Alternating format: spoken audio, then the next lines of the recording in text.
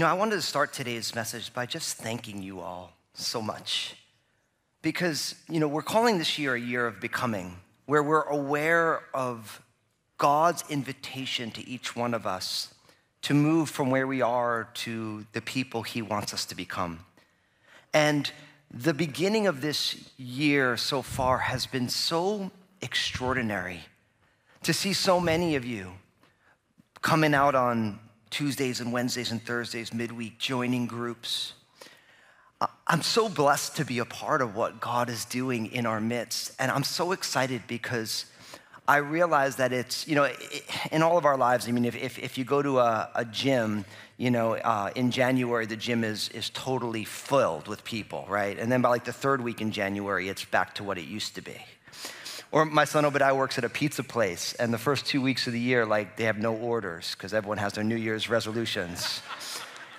and, and he came back from work yesterday, he's like, man, it is packed with people you know and so i realized everyone starts off like yeah and then, and then they kind of settle in. But just to see over the last number of weeks so many of you jump on into men's and women's and the care ministries and celebrate recovery. I just want to encourage you i'm so excited not only for the fruit that god wants to bear in your life as you're part of your family of faith and you're in a group but i'm also so excited for how those times, not only the fruit will bear in your life, but it will bear in your family, and your friend group, on your job.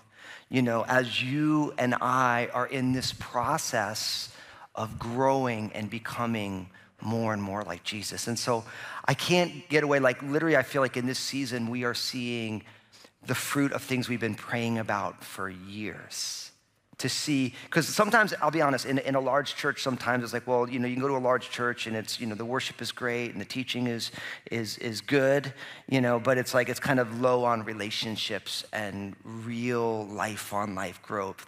And we just made a commitment as a church that we're high up or low down we want everyone to be in a group. We, we want people to to be discipled and to grow together and let that iron sharpening iron and to see you all stepping into that and embracing that and saying, hey, I want to grow. It just makes me so, like, I'm, I'm, I'm so honored to be able to be a part of this with you all. And so if you've been going, keep going. And if you haven't stepped in yet, listen, come and join us. There's open seats for you. But watching young adults and all these different ministries just blossoming, students on Wednesday night, or we also have students at 11 o'clock on Sunday mornings for those of you who have middle schoolers and high schoolers, just watching people connected and, and grow together. And I'm hearing such incredible tales of what God is doing in this season. And so thank you for so much for being a part of that. Now, with that, in this year of becoming, we have to realize that if there's one thing that is consistent in life, and that is change. I know we don't always like change, right? That there's an old saying that uh, change is inevitable but growth is optional. Because change is gonna happen, but are we really growing? And in this year of becoming, we're so aware of like, hey, change is gonna happen, but I really wanna grow. I wanna grow into conformity to Jesus. I wanna become more like Jesus. I wanna be able to move forward in my life. But what you have to also realize is that our world is in constant change as well. And part of this idea of the year of becoming, it, I told you earlier in the year that it makes total sense that we do the end of the book of Revelation as the beginning of the year of becoming, because what we realize is the world as it exists right now is not the way God intended it. And so things in the world have to change, and they are changing. And what we end up with when we start talking about change in the world, and it's one of the things I don't enjoy about the day and age in which we live, is the way our world exists, especially in the West, it's almost always defined by American politics, which is proof positive that we're in trouble.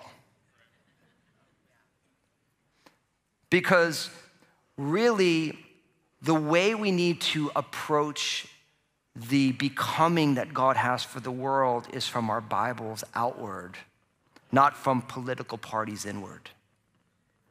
And so we all have our politics. I always tell everyone holds their political views personally, passionately. I just ask that you hold them under the authority of Jesus if you're a Christian, that you let Jesus inform your politics.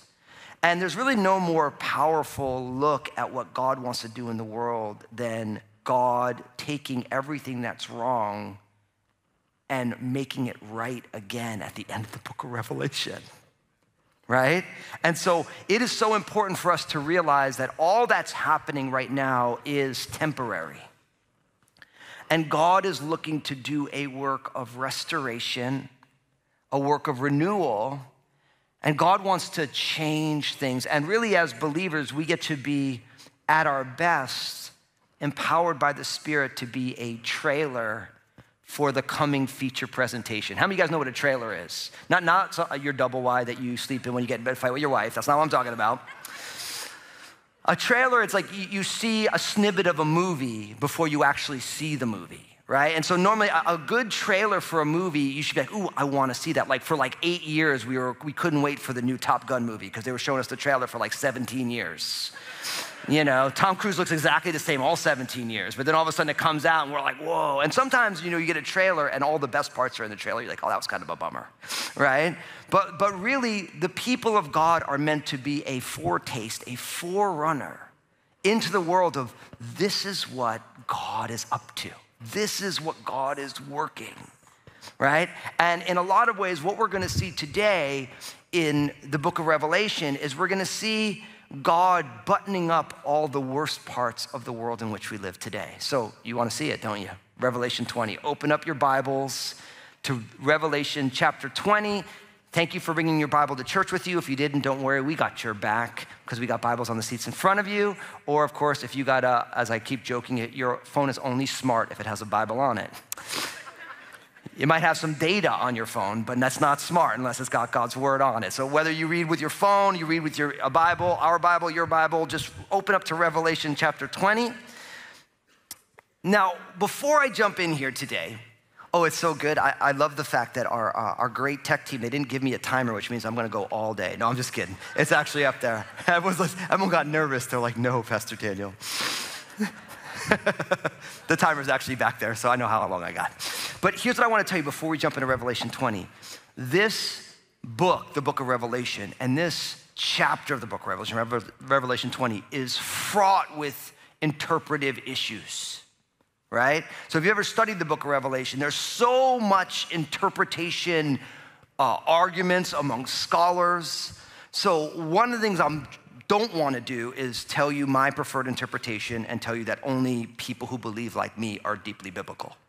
That's what pastors do to make you think that they're smarter than everybody else. But Jesus is Jesus, and it's the revelation of who? So we want to see Jesus in the midst of this. And we here at Crossroads, we make space for people who interpret it differently than us. And really, I just want to give you like, here's the spread of interpretation. And every once in a while, I'll say, hey, look, if you held me down and tickled me and made me choose a side, this is where I land. But really, don't hold me down and don't tickle me. Unless you're going to give me a Twinkie, and that's a different discussion. but, but the idea here is we really want to see the book not as a I need to understand exactly how this is all going to play out in the end so that I feel safe about the future. You should feel safe about your future because Jesus died and rose again. And, and in him, you are secure. Everything else is it could be this and it could be that. And Revelation 20 is full of this. And I'm gonna try and unpack that for you. So, if you remember at the end of Revelation chapter 19, we see Jesus coming back, right? And really, you know, as Jesus comes back, he's got all of a multitude of, of, of people in fine linen on white horses coming back, you know. And when that happens, you have the Antichrist and the false prophet. They are all, they are grabbed and they are thrown into, uh, into the bottomless pit. And really, they summon all the birds of the air, like, man, it's going to be a great feast. There's a, this big final battle, and, and Jesus is winning. And So look at what happens. Revelation 20, verse 1. It says, Then I saw an angel coming down from heaven having the key to the bottomless pit and a great chain in his hand, and he laid hold of the dragon, that serpent of old, who is the devil and Satan, and bound him for a thousand years. And he cast him into the bottomless pit and shut him up and set a seal on him so that he should deceive the nations no more till the thousand years were finished. But after these things, he must be released for a little while. So, what do we learn here? We learn that at the return of Jesus, Satan is bound, right? Satan is bound. Now, there's a lot that we can talk about here, and there is a lot happening here. But what you have to realize first and foremost, we have a tendency, if we don't really think biblically, to think that almost like, you know, Satan is God's evil alter ego. Like God is Austin Powers and Satan is like Dr. Evil, if you know the reference. Some of you know the reference, you sinners. No, I'm just kidding. Just means you're around in the 90s when that stuff was coming out, right? But what you have to realize here is Satan's being bound, God doesn't leave his throne to do it, he actually sends an angel. Now, that's an important piece of information for us to see because we have to realize that the good versus evil battle that we see always at play in life, good wipes out evil without any issue. Does that make sense? So it's not like it's like it, it's like you know if you like boxing. I, me- I remember growing up. You know, I grew up as a child of the '80s. So you know, uh, Iron Mike Tyson. Before he was a cultural icon, he was just a great boxer. And I remember watching him just like you know beat guys in like 30 seconds. You know what I mean? Like it was just, it was unbelievable to watch. But then I remember I would watch it with my grandfather and my dad because we like sports, and they would talk about like the earlier boxing bouts, bouts where these boxers would go in the middle of the ring and they just go toe to toe for like 10 rounds. You know? And in a lot of ways, the defeat of evil by God is more of a Mike Tyson fight than an old school knockdown, drag out, 12 rounds goes to, you know, to the card to find out who wins the match right? And God doesn't leave the throne, He sends an angel. The angel grabs Satan and he throws him into the bottomless pit for a thousand years. So, what you, what you have to realize is that the defeat of evil by God is not a challenge for God. It happens effortlessly. He sends someone else to do the dirty work for it. Now, what is interesting about this, of course, is if you were with us in, in, our message on Revelation 19, we focused in on the four names of Jesus. Do you remember that? Where we saw Jesus is called faithful and true, he's called the Word of God, he's called the King of Kings and the Lord of Lords, and he's got a, a name that nobody knows except him. And we made the point like we're gonna see Jesus. What's interesting is in the binding of Satan, we get four names for Satan as well right? He's called the dragon, that serpent of old, who is the devil and Satan. So we, we, learn a little bit about our adversary. One, he's called, of course, the dragon, and he's been called that all the way through uh, the book of Revelation, things like Revelation chapter 12, different places. 27 times in the Old Testament, the word shows up. And so uh, he's called the serpent of old, which links the devil and Satan to that serpent in the Garden of Eden in Genesis chapter 3 who deceived Adam and Eve to disobey God by eating of the tree of the knowledge of good and evil. Of course, he's called the devil, you know, which literally means the slanderer or the accuser. Or, and then, of course, he's called uh, Satan, which means the adversary. Now, I think what's interesting with all the names, I want you to notice what it says here. Verse 2 He laid hold of the dragon, that serpent of old, who is the devil and Satan, and bound him for a thousand years, and cast him in the bottomless pit and shut him up and put a seal on him. Now listen to this, verse 3 so that he should deceive the nations no more till the thousand years are finished. So, what we learn here is that Satan, the devil, the serpent of old, the dragon, he's got one goal, and that goal is deception. Now, if you go into your, your favorite browser window, you grab an old school Webster's dictionary, you go to the library and you rock the Dewey Decimal System and you look up the word deception, what you find is deception is any act, whether big or small, seeking to subvert people from believing what is the truth, to buy into something that isn't the truth for their own advantage. Now, what is fascinating about this is that this is what the devil's role and job always is is to bring deception which if you look at our culture and our world today is on full display because we live in a what is truth culture. Everybody says, Well, I have my truth. And you really can't put a personal pronoun in front of the word truth. If it's your truth, it's actually your opinion. That's how it works. But we live in a world where it's like no one is entitled to say, This is the truth, except Jesus said, I am the way, the, and the life, and no one comes to the Father but by Him. So in our culture, we have a truth problem But we really don't have a truth problem, we just have a comprehension problem. Right? So, what Satan's job always is in all of our lives is to deceive us so that we don't believe the truth right? And he does it for his own advantage. Like if someone is deceptive with money, they will lie to you, they'll make you believe something wrong so that they can advantage themselves, right? So it's to a personal advantage. And really, what you find with Satan is that there's an old saying that misery loves company. And, and Satan's miserable and he wants the glory. And he knows that if you don't give God the glory, then he thinks he gets the glory. That's his goal. So deception is real. Now, here's the thing it's really easy to sit in church, to stand in church, to preach in church, and say, listen, the world is deceived. But I'm here to tell you, deception is at play in all of our hearts and in all of our lives on some level. And growth in Christ growing in our faith in Jesus is a perpetual bring our lives into the light and saying, Lord, where am I believing a lie?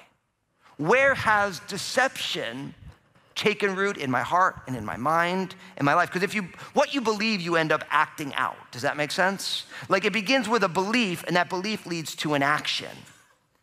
So, at the level of what we believe, when deception is at play, then Satan can have fun. And it says that Satan deceived all the nations, and he does, and he tries, seeks to deceive all the people. The serpent deceived Adam and Eve by his craftiness. It's always the same thing. So, for each one of us, things like reading the Bible and being a part of church, being in a group, praying, worshiping, these are all opportunities to bring our lives into the light so we can see what are the lies that I believe? Now, here's what I want to tell you don't think for one second that you don't believe any lies. Because we all do, we're all growing. Sometimes we have the right belief, but the wrong application of that belief. Right? Sometimes we have the wrong belief, but we apply it in a way that actually makes it look good. Right? Like, so, like, for all of us, life is constantly about being like, what are the deceptions that I've bought into? And how do I repent of those, which turns from the deception and turns to God so that I can grow? And I'm here to tell you no matter how long you walk with Jesus, there are a lot of these. Kind of like it's, it's like peeling an onion away where there's always, oh, I, I can't believe I used to believe that. I can't believe I used to do that. And if you feel that way, that means you're growing. You're not what you used to be. You're not what you're going to be. But the key for each one of us is to be on that journey saying, I want to believe no lies. My bride Lynn, uh, we were just talking about this recently. It was so cool. We were talking about something. She's like, Well, we always have to make sure we discern what is truth and what is falsehood in the midst of this. And I'm like, Ooh, so good. That fits right in my sermon. Thank you very much. I'll preach that one, you know? But for you, for me, for us, we need to say, where is deception at work in my life? Now, you can always find where the deception at work in your life when the way you're holding whatever you believe does not have the fruit of the Spirit at work in it. So, if what you believe does not make you more loving, more peaceful, more joyful, more patient, more gentle, more kind, more self controlled. That's how you know you're like, oh, there, there's some deception there, right? And Satan's job is to deceive, but he's gonna be bound so that that deception ends, right? Now, it's important to remember, because, you know, um, we don't wanna have kind of a satanic obsession in our lives. Sometimes you can go in church and they're like, it's all like, it's, everything's like, like an obsession with Satan. You have to remember 1 John 4 4 says this You are of God, little children, and you have overcome them because he who is in you is greater than he who is in the world. And that's cool, isn't it? It's a good reminder. He who's in you is greater than he who's in the world. So, so the, the power of God is greater than the power of the enemy. But we're not ignorant of his devices. So we have to ask the Lord to help us root out the deception. Now, you notice what's going on here. It says he's bound, right? And he's going to be shut up for, that he won't deceive for a thousand years until the thousand years were finished. But then after these things, he must be released for a little while. Now, this is where things get weird. I'm gonna keep reading for you. It says, verse four, and I saw thrones, and they sat on them, and judgment was committed to them. Then I saw the souls of those who had been beheaded for their witness to Jesus and for the word of God, who had been worshiped who had worshiped the beast, who had not worshiped the beast or his image, and had not received the mark on their foreheads or on their hands, and they lived and reigned with Christ for a thousand years. But the rest of the dead did not live again until the thousand years were finished. This is the first resurrection. Blessed and holy is he who has part in the first resurrection. Over such, the second death has no power. But they shall be priests of God and of Christ and shall reign with him a thousand years. So, what we see here is that really we're encouraged here to enjoy the first resurrection. Because I get that right from verse six Blessed and holy is he who has part in the first resurrection. Right? So, you should, we want to enjoy the first resurrection. But really, this whole section and, and really the binding of Satan is really so that there could be this thousand year period. Now, when you hear the word thousand and years, what do you think of? The millennium, not the millennials, the millennium, right? Now, if you want a really controversial topic among biblical scholars, bring up the millennium, and then you will find everybody draws their battle lines. There are three primary positions on how people deal with the millennial reign of Jesus, this thousand year period, and uh, they can't agree on almost anything. It's a beautiful thing. One's called premillennial, one's called postmillennial, and one's called amillennial. Now, notice they all have the word millennial in it, right? Because it's all about this thousand year period. So it's all about the prefix. Everybody remember English comp? Right. So pre means what? You guys are so smart. You must go to a great church with a great pastor. No, I'm just kidding. So, premillennial means Jesus comes back before the thousand year reigns. Postmillennial means what? He comes back after the reign, uh, after the thousand year reign. And then amillennial means what? No millennium. The word a means no in Greek or Latin. So, like agnostic is a no knowledge, gnosis is knowledge. Atheist, ah, no, theist, God.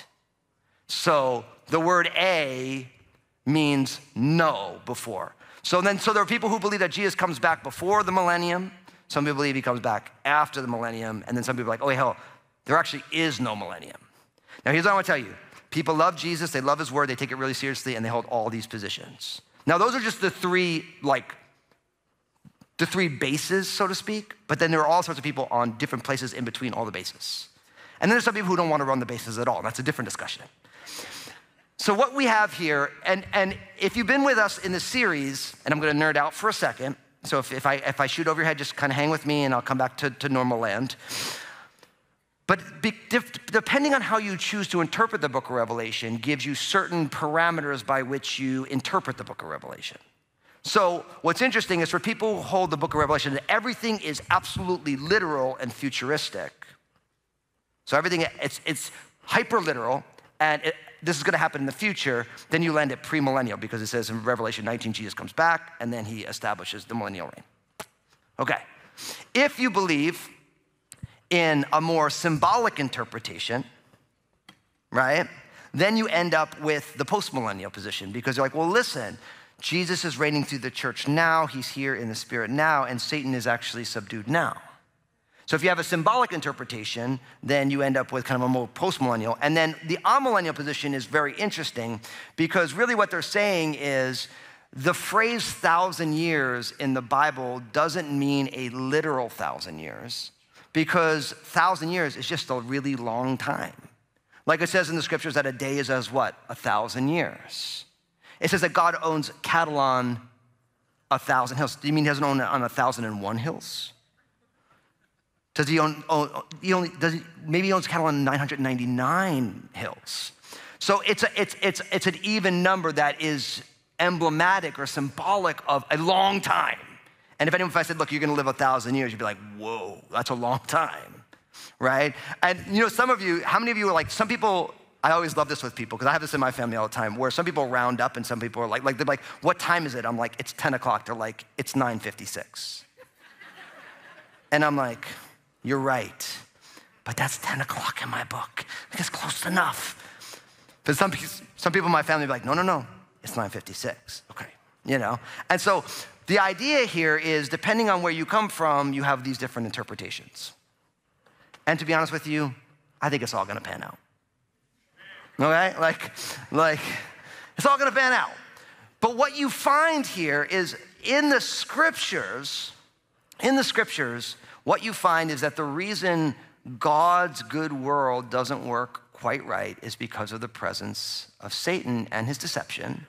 And in order for things to work the way God intended it, Satan needs to be bound and removed so that this thing can work the way it's supposed to work. And that's really what we're getting at here that with Satan being bound, like you know, everything is together. And, and now you have this, this resurrection. Now, what's interesting in verse four, the, the resurrection is really focusing on those who were martyred during that tribulation period when the Antichrist is at work and the mark of the beast and all this, right? And, and, and so it's almost like you have like a, a, a of the resurrection. Now, I, now, listen, I said that out loud, and I don't want you to overstate what I'm trying to say. Because who was the first fruits of the resurrection? Jesus, right? And then you have, remember when Jesus walked out of the tomb, then some people were resurrected in Jerusalem. You, it's a crazy verse in, in, in, Matthew's gospel. And then you have like the hope of the future resurrection. And, the, and, and so what I'm saying is that some of our beliefs about like, well, I, I die and then I go to heaven with Jesus, it's like, well, it's a little bit more complicated than that. And if the millennial isn't uh, symbolic, then actually some people are going to go to heaven and they come back with Jesus on their white horse behind you, and they're going to live on earth for a thousand years. So it's like you, you die and you go to heaven with Jesus, then you come back, you hang out on earth for a while, and then heaven and earth is going to pass away, and you get a new heaven and a new earth, and that's where you live forever. So to say like I just I want to believe in Jesus, so I go to heaven when I die, it's like actually, well, there's a new heaven and a new earth. You might come back, and who knows how this is all going to work. Well, did I just confuse everybody? Everyone's just looking at me like, what is going on right now? But if you take your Bible seriously, what I want to tell you is that it's not as simplistic as we want it to be.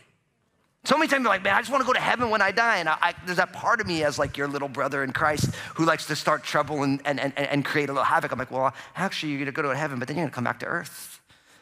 And then you're going to go to a new heaven and a new earth. So don't get too comfy in heaven, you know? But the, the idea of heaven is when you die, you get to go be with Jesus where he is.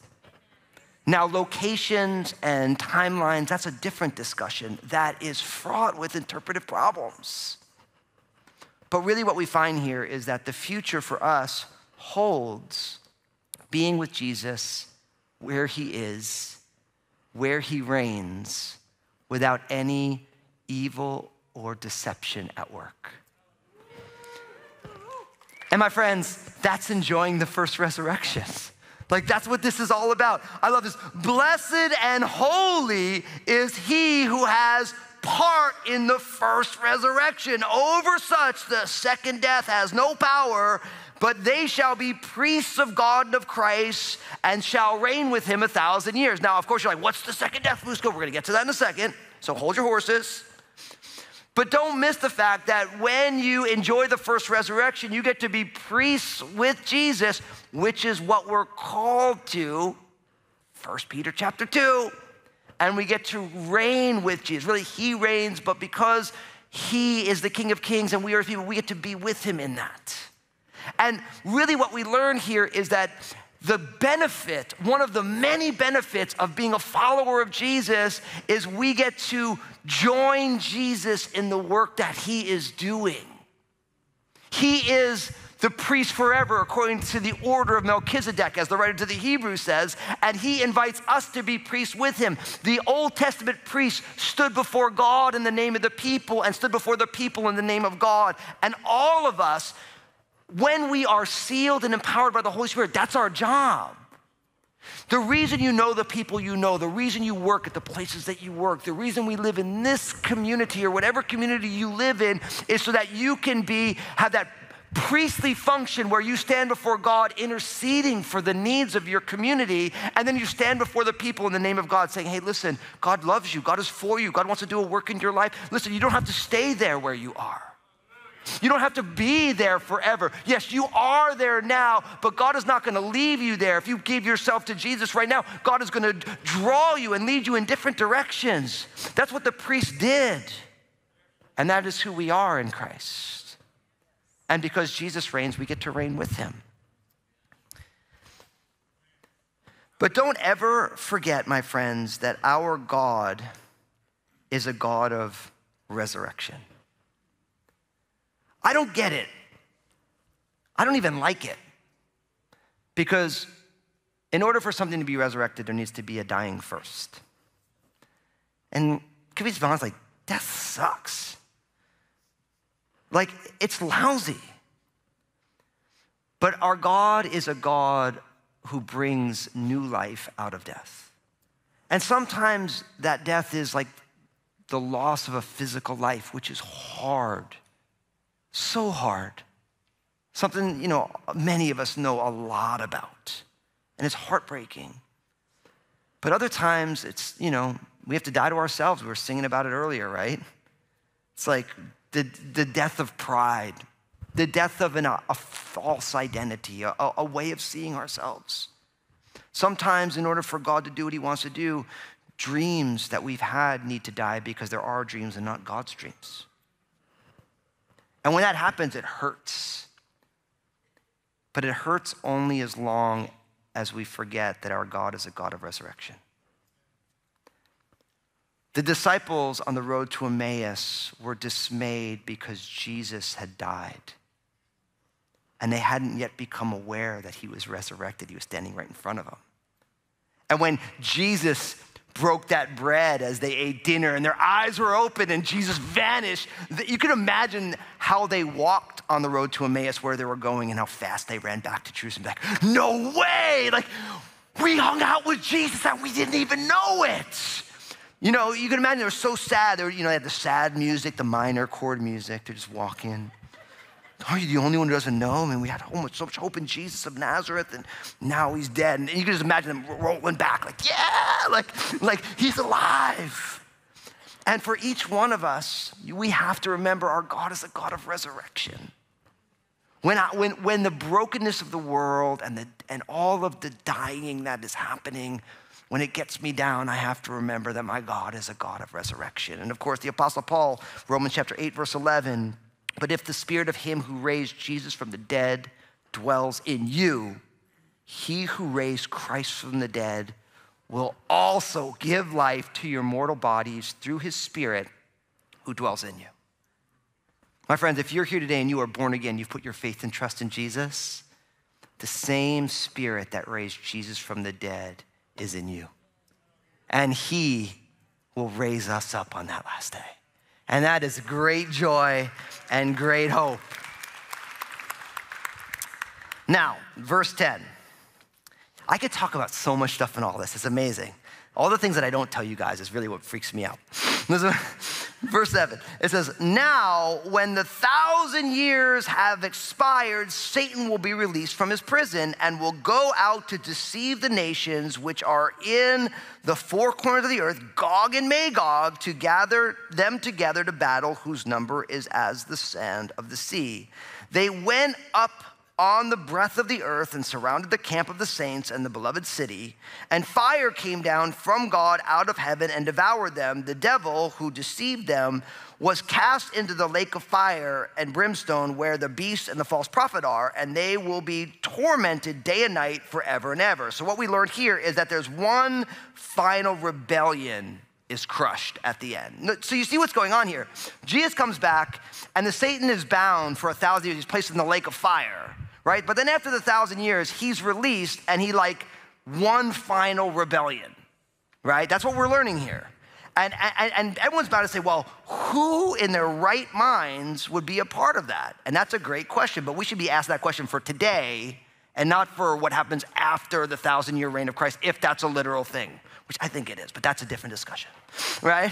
It's like, it's like, why would someone not want to follow Jesus? And that's always the question. But you have to realize that there are people who are enter the millennial reign of Jesus, if that's a literal thing, which I think it is, but I'll say if for those of you who don't, I'm fine. We're not gonna fight about it. We'll all be there anyway. Anyway, yeah. if we're in Christ, we're going to be there. It's going to be crazy. But, but what's interesting about it is there's going to be people who move into the millennium who were alive in that last generation who weren't at the Battle of Armageddon, but they don't actually believe in Jesus. So when Satan comes and he brings deception, people are going to get people are going to fall for that. Now the other big question is is why would God do it this way? And the answer is is I don't know. I'm not God. I'm just telling you what it says. But what you have is Satan is released and there's one final rebellion. Now, what's interesting, if we take the millennial reign of Christ literally, there's all of these passages in the scripture about Jesus as the great king who rules in righteousness. And people say, well, that actually happens in the millennial kingdom in its fullness, like where the lion will lie down with the lamb, a child will be able to play in the serpent's hole. Like lions and lambs don't lie down together. One feast and the other one's gone. You know, you don't let your kids play in viper holes because they get bit and you love your kids. And even if you don't love them at that moment, you still want them to get bit by a snake. So, so you protect them. But in the millennial kingdom, there won't be all the, the death and the violence and all the things that are going on. And so people say, well, that's going to happen when Jesus returns and he sets up his kingdom kingdom on the earth. That's how that works. But what you have here is God allows this final rebellion after the thousand years and Satan is released. And what's interesting is, is he goes and he gathers together all of these, you know, to deceive the nation. He'll go out and deceive the nations which are at the four corners of the earth, and he calls them Gog and Magog, which is, if you don't know your Bible, and especially the prophets, you're like, what is that all about? So just write down in your, in your margin Ezekiel 38 and 39. It tells us battle of Gog and Magog. A lot of people, you know, there are uh, people from the north of Israel. People would consider it the Stand region today. That would be that area. And what's interesting, if you've studied biblical prophecy, or if you study people who are really into like all the things, then you've heard all about Gog and Magog and, and what's going on in Russia right now. And they've been talking about this since the, since the Cold War in America about how Russia's Gog and Magog. And it's like, hold on, it says actually this all happens after. So don't miss that. Like if you put if you if you impose a timing on it, it's actually after the millennial reign when it happens. But we'll leave that there for people to get mad at me and send me emails that I won't read. but I just say this stuff for fun because I can. I just said that out loud. That was my inside voice. Save your carpal tunnel to, to send love notes to your sweeties. Anyway. but really, what's going on here is there's this one final battle that's going to go on, but this battle again is going to be defeated quite effortlessly. You know, it says they come from the breadth of the earth, they go to surround the camp of the saints in the beloved city, and it says, and fire comes down from God out from heaven and devours them. So once again, it's not like a, a tough fight. It's not like a fight to the, to the final buzzer. It's like evil is destroyed, it's crushed. God is so much more powerful. And then what we find here is that the devil he had been placed into the, you know, uh, you know, into the bottomless pit, but now he's, because he's out, now they take him to the lake of fire, um, which is with brimstone, and he's put in there and he's, and he's judged forever. And that's where the Antichrist and the false prophet are. So there, this is like the, the, the, final destruction. And it's a great reminder, I said this earlier, but uh, John chapter 16, verse 33 says, These things I have spoken to you, that in me you may have peace. In the world you will have tribulation, but be of good cheer. I've overcome the world. And it's just a great reminder like, there's issues in life, but in Jesus we have peace. And if you find yourself, your soul is disquieted within you, as the psalmist speaks of, what we have to do is we have to learn how to run into Jesus, who is our peace. And we have to dwell there. And I'll be honest with you, the older I get, the more I need to find myself dwelling in Jesus. The more I'm aware of it's very easy to, to lose peace in this world. There's so many good reasons to. You know, on any given day, there's a million things to be concerned about and worried about. Things do not work the way that they, they should. People are not always altruistic or even kind. People have malicious intent, deceitful intent. That's all real. But Jesus is because he's the Prince of Peace, he is our peace. And the righteous, those who have been saved by Jesus, can flee into him and be safe. And so if you find yourself disquieted within you, Jesus is saying, you know, come to me. Let me do that work. Let me be your peace. Look what happens in verse 11. It says, Then I saw a great white throne and him who sat on it, from whose face the earth and the heaven fled away, and there was found no place for them. And I saw the dead, small and great, standing before God, and books were opened, and another book was opened, which is the book of life, and the dead were judged according to their works by the things which were written in the books. The sea gave up the dead who were in it, and death and Hades delivered up the dead who were in them, and they were judged each according to his work. Verse 14 Then death and Hades were cast into the lake of fire, which is the second death and anyone not found written in the book of life was cast into the lake of fire.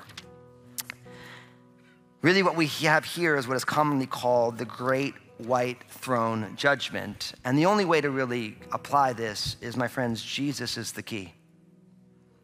Because the key to the first resurrection, the key to escaping the second death is Jesus. Because what we find here is that once that final rebellion is destroyed, then we have this great white throne and the Father sits on it. And it literally says that in the presence of God, heaven and earth flee away. That there's no place found for heaven and earth. Now, I can't even fathom that. Like, like I'm not a scientist in any way, but I can't even fathom how that all works. But we're going to see in the next chapter that God brings in a new heaven and a new earth. So at this point, the heaven and earth as we experience it as it exists will be gone. And really, what goes on is there's a series of books that are opened. I believe that the first set of books, if I'm going to press it, is the books, it's like almost like the log of your life, right?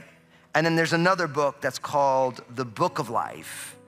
And everyone is judged according to their works. But if your name is written in the Book of Life, then you take part in the new heaven and the new earth. Simple as it gets. Now, here's what you have to realize. And, and, again, sometimes people are like, oh, you know, I don't like the Bible because the Bible's full of scare tactics. I'm like, it's not scare tactics. It's like everything you've ever done, the true and living God knows. It's like all you, you can clear out your browser history as many times as you want. God knows where you've been, and so does Google. you know what I mean? Like, everyone knows. It's what it is. You can pretend you can buy things in cash. Nobody knows what you're doing. Yes, the, the, the true and living God knows because in Him you live and move and have your being. Everything is known. And there's nothing we do in secret.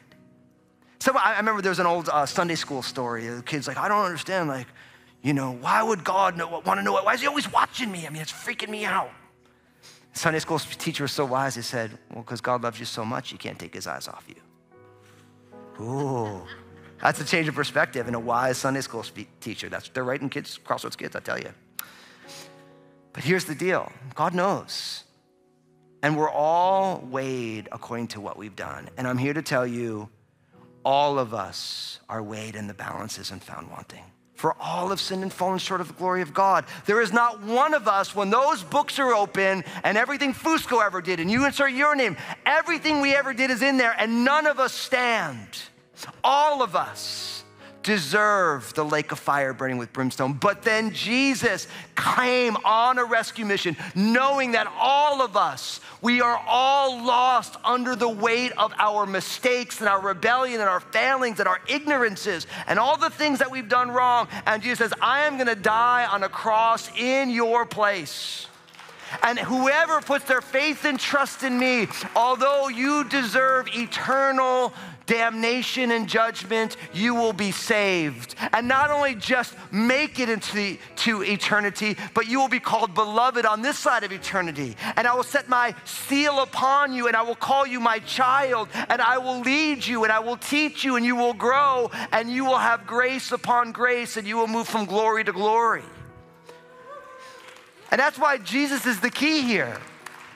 Because Listen, I guarantee, I always say this, if all of a sudden like the like the teletape readout of your life, like it's like, you know, you, your profile picture, and then like the story starts, and I know what happens. You leave, right? Like, like I'm out of here. I don't want to see this. I was there. I didn't even want to see it when I was there. I realized if mine was up there, I shouldn't be anyone's pastor. God knows. I have no business. But if all, all of our stuff, if it's all up there, nobody wants to see that. But the beauty is, is God sees it and he knows it and he loves us still. And he's forgiven us in totality. And what's beautiful here is it says death and Hades gave up their dead. It says the sea gave up their dead. I'm gonna table that for another time. If you want to, to conjecture with me about that, why does the sea have dead in it? It's fascinating. I just leave that there for, you for later. Search your Bibles. But what's amazing is, is really what's going on here at the great white throne is judgment happens, Jesus is the key, and death is defeated. Because really, death and Hades, they're cast in the lake of fire. This is the second death. But anyone not found written in the book of life was cast into the, the lake of fire. And my friends, as I bring this message to a close, and the last two chapters of Revelation are, are special because we see how God restores all these things, and it's going to be really beautiful. I want to encourage you to read ahead over the next couple messages. But here's the deal Jesus is offering eternal life, fellowship with God to anybody who's willing to come and put their faith and trust in Jesus and follow him. The only reason someone will not receive the grace of God is because they are unwilling to receive it. I don't know about you. I go somewhere and they're like, hey, you want a free appetizer? Absolutely. If I came over, hey, Pastor Daniel, I got you a gift, I'm like, yeah, I don't want that. Like the fact that someone would think about me and say, hey, like, I, I want to bless you with this, right? I've never seen a kid on Christmas morning. I don't want that present with my name on it. But only grown people when God says, I want to be your father. I want you to be my child. For some reason, we're like, yeah, I, I don't want that. And I'm here to tell you, you should want it. And Jesus is offering you forgiveness for the big things, the small things, for the shameful things, for the horrendous things, for the subtle things that weren't incredibly horrible, but they were still slightly imperfect. He's like, I came and lived perfectly before my Father, and I took your punishment on the cross. I was forsaken by my Father on the cross so that you'd never have to. You never have to experience that. And there's an old saying that if you're born once, you'll die twice. But if you're born twice, you die once. If you're born physically, then you'll die a physical death, and then ultimately, you'll die a spiritual death, which we're reading about. But if you're born twice, physically born, and then born again in your faith in Jesus, you'll die just once a physical death, but never a spiritual death. And if you're here today and you're already a follower of Jesus, rejoice in your first and your second birth trust in your Savior and be strong in your faith because he who's in you is greater than he who's in the world. And if you are here today and you are not yet a follower of Jesus, today is the day to be born again by his Spirit so that you will never, ever have to experience the second death. Let's bow our heads and our hearts as we pray together. Father, thank you for Jesus. Thank you that Jesus is the key, He's the answer. Lord, we admit, Lord, in the book that tells of our works, it is a mess for each one of us. Lord, not that we're all as bad as we could be, just none of us are as good as we should be. We know what to do. We know what's right. We don't do it. We, we don't feel like doing it. We get grumpy and angry and frustrated and we, and we throw temper tantrums. We do all these things, Lord. And you see us, and Lord, and you know us, and you knew unless you sent your son on a rescue mission for us, we would be lost. We'd all be in that lake of fire with brimstone for eternity, rightfully so. But you sent Jesus. And Lord, here at Crossroads today, we believe in Jesus. We have no, we confess them with our mouth, we believe in our heart, we follow Jesus. And we are grateful that we could be born again, that we could be blessed and holy are those who get to take part in the first resurrection, that we get to be people who don't have to experience the second death. And God, we want the whole world to know that we have been with Jesus by who we are, by how we live, by how we love, by how we walk.